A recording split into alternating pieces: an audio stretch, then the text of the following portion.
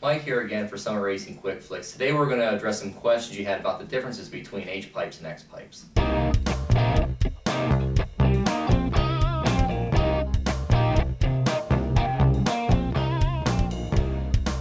The question we most commonly get asked is what the difference between an H pipe and an X pipe is and which is more beneficial.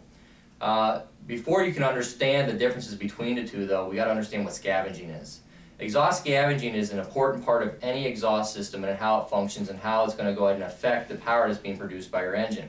Exhaust scavenging is when you have the pulses working for you in that engine combination to where they're creating a full evacuation of the cylinder so that you don't have new fuel and air mixing with leftover burnt air and fuel um, so that you get a more complete um, combustion cycle out of the engine. So now that we know what scavenging is, our, our goal with, with both of these components is to equalize exhaust pulses so that the system scavenges, scavenges the best that it possibly can. Um, each of these is going to do this a little differently. Um, in fact, you're going to notice that there's, there's been a more of a focus towards X-pipe technology in comparison to H-pipe technology as of late. The reason for this is that we've come to find with H-pipe technology, which does work, what it does is equalize the pulses, but it doesn't really help the scavenging effect so much because what happens is it'll equalize it from side to side of a typical V-type engine, but it doesn't exactly draw the gases and force the pulses don't work off of one another in the end to really improve exhaust flow. Whereas in comparison, an X-pipe, you're kind of forcing the two to converge together. Uh, and when that's happening, those pulses are also working together not only to equalize the pulses from side to side of the engine, but to draw on each other and make and speed up the exhaust flow and, and force the exhaust out of the system.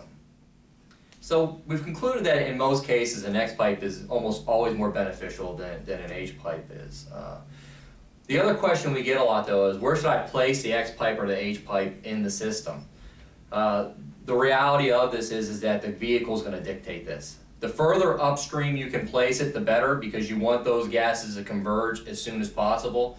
Uh, but in reality, you may only have you may have limited space on where this item can be placed. In some vehicles, you can't even get an X pipe in in general because of drive shaft interference or ground clearance interference issues.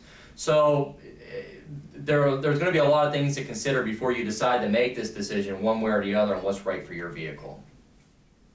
From a pure horsepower standpoint, an X pipe will always make more horsepower than an H pipe will. That doesn't mean that the X pipe is the right choice for your vehicle application though. Uh, if you have a lower performance engine, an engine you know that doesn't have a lot of compression, a lot of wind, uh, you may come to find that you put the X pipe on, it makes more peak horsepower all day long, but it doesn't mean the vehicle is going to perform better because it lacks back pressure now.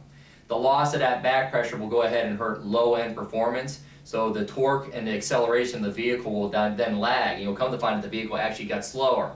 Doesn't mean it's not making more power, it just means it's not producing the power where it needs to be produced in that engine combination. Therefore, you may come to find that the H-pipe may be more beneficial. You may also come to find that neither of these is the right choice for your engine application because it really doesn't uh, it really doesn't require it. It's really not going to benefit from either of these changes, and you may be better off just going with a standard exhaust system in the end. If you have any more questions on exhaust components, just leave us a question in the comment area. For more quick flicks, visit the Summit Racing YouTube channel. Visit Summit Racing online at www.summitracing.com. Follow us on Twitter at twitter.com backslash Summit Racing or like Summit Racing on Facebook at facebook.com backslash Summit Racing Equipment.